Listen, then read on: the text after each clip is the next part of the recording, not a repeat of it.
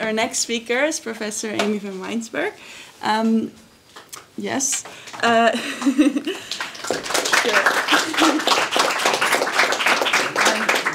Aimee is a Humboldt professor for applied ethics of AI here at the University of Bonn. She's also director of the Institute for Science and Ethics and the Bonn Sustainable AI Lab. She's a co-director of the Foundation for Responsible Robo Robotics a member of the European Commission's high level expert group on AI, founding editor of the journal AI and Ethics, member of the World Economics Forum, the Global Futures Council on AI and Humanity, and writer of the book Healthcare Robotics. And Aimee's current research brings attention to the sustainability of AI, and that's also going to be the topic of her talk. Yes. Right. So, thank you. Um, it is, I, am really thrilled that this event is happening today. Sheila and I started talking about this, I think, about a year ago. Yeah, and so it's taken some time to actually put everything together, but it's so exciting, and I'm so inspired by what you've done here with women in AI and robotics, and that we can play a small part in that. So, thank you, Sheila, for making that possible. Um, also, want to give a shout out to Rosalie. So she just started in October, is that right? Yeah. So she's only been here for like six weeks and has already put together this event. And so I think that's really. Yeah, I think that's really admirable and welcome to the team again. So there are three things that I want to raise in my 10 minutes, or I have an hour. no, there's three things that I want to, to do. The first one is um, to say a little bit about my background, that I began in uh, cell biology, so not your typical training for an ethicist or a philosopher. And while I was a cell biologist, I was, or while I was training to become a cell biologist, I also worked at a robotics institute and I was working with engineers. Um, how do we train robots? How do we train surgeons to use robots? This kind of thing. And um, it was that experience that led me into asking questions about ethics. How do we evaluate the technology? Um, is it just about efficiency of the technology, or is there something more about how it's integrated into a practice? Yeah. And so that's when I pivoted and I shift to look at ethics and to look at how we can take ethics and use it to evaluate the technology technology, but to stimulate new kinds of innovations. Um, so I say that because the, the first message that I want to bring to the network or to the community is that uh, you know don't be afraid to pivot. Yeah, don't don't be afraid to to take chances and to move beyond. Even though I started in the technical domain and then shifted into ethics, um, yeah, I think it's important that that uh, we make sure that young women older women as well, um, young men as uh, older men as well, that we are, and uh, non-binary, uh, all inclusive, yeah, that we yeah can grasp this idea that it is possible to to shift and to change our way of thinking. So that's the first point. The second point is um, the overall vision that I have for my research. So, um, as said, I'm an ethicist. I do the ethics of robotics and artificial intelligence. And I'm not sure if many of you are familiar with the kind of uh, reputation that ethicists have, that we're often considered the ones who come into the room and we say, like, no, you can't do this. What are you doing? Uh? Um, and well, yes, that has been somewhat the case, you know, and we hear that ethics is going to stifle innovation. It's going to just like stop everything amazing from happening. What I'm trying to do with my research is to show that ethics can be something so different from that, yeah, and so much more than that. That instead of having ethics as an afterthought after we've created the technology and we think, ah, what could go wrong now, right? Instead of that way of, of doing ethics, that we have ethics included at the early stages of design. And so we can incorporate ethics into how we even think about artificial intelligence and robotics, and then how we design them and how we implement them.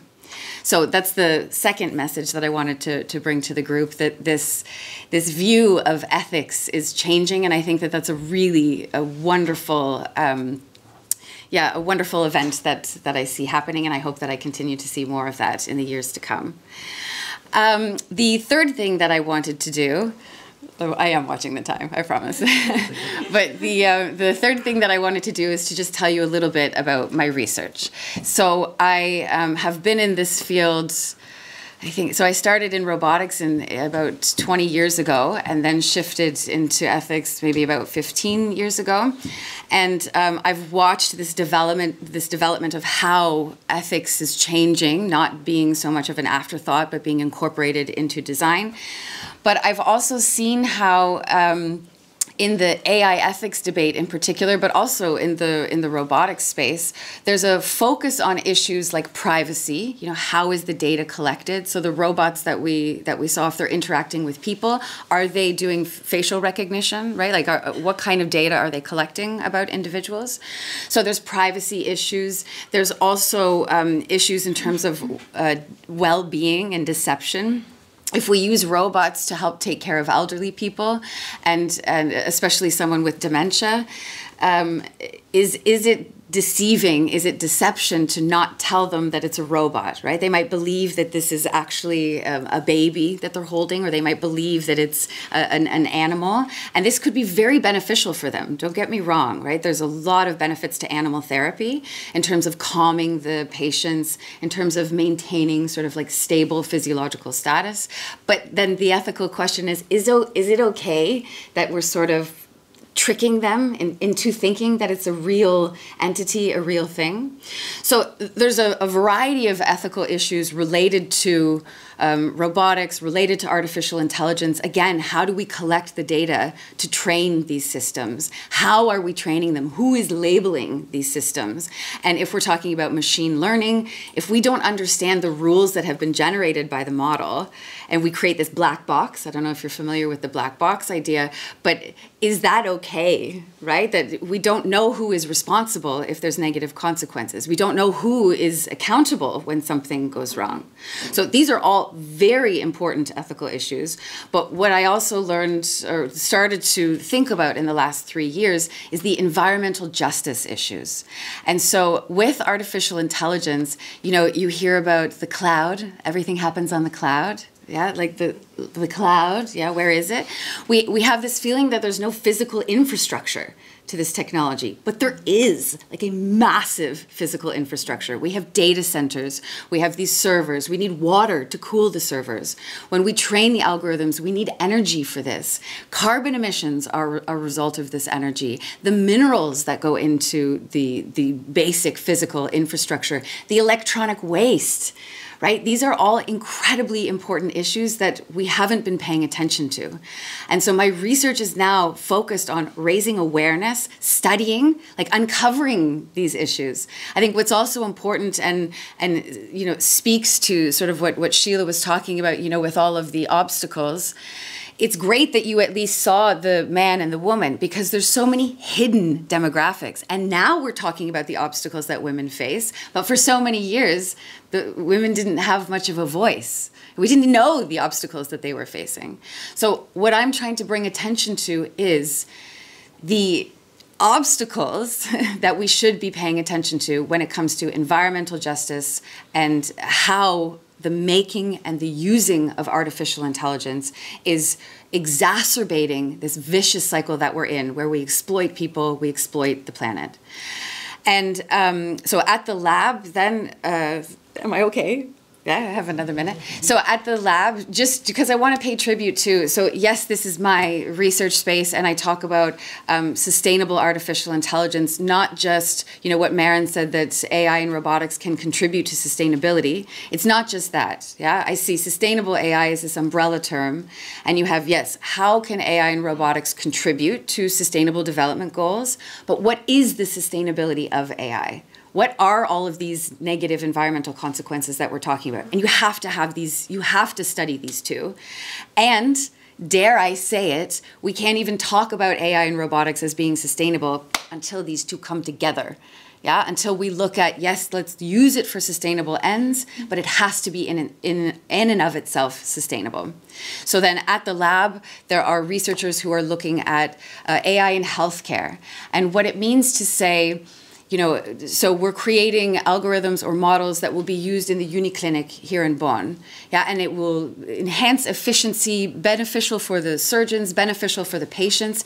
But is that enough? Yeah. Can we say that this is good AI or AI for sustainability if there are all of these environmental consequences? With the hidden demographics that we're not paying attention to, that we're not listening to, that we don't even see. Can we still say that it's good AI or AI for good?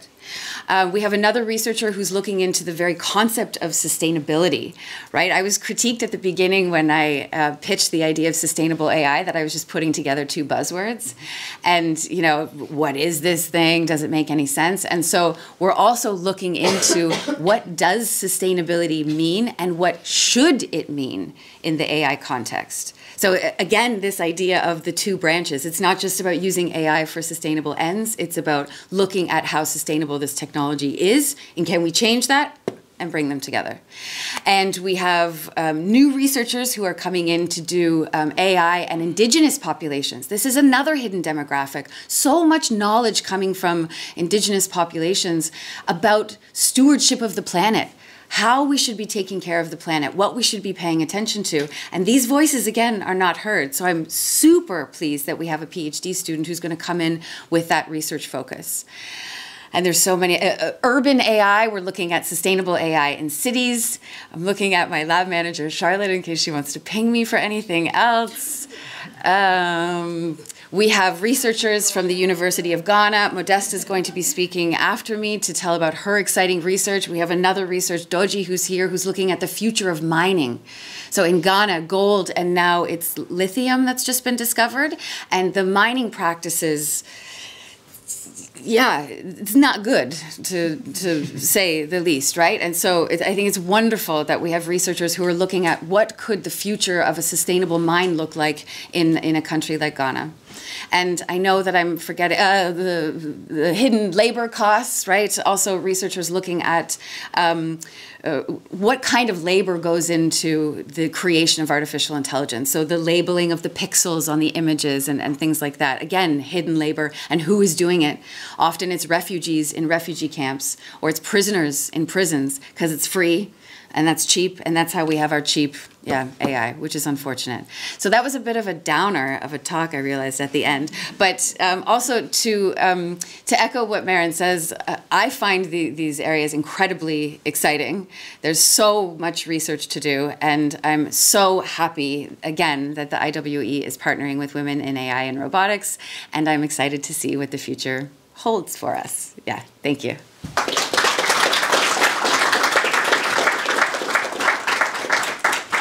Thank you so much, Aimee. Um, and well, our lineup of speakers today uh, really shows that there's many different ways in which you can be involved in AI and robotics, and you can come from different, very different, um, well, career paths, ending up working in this field.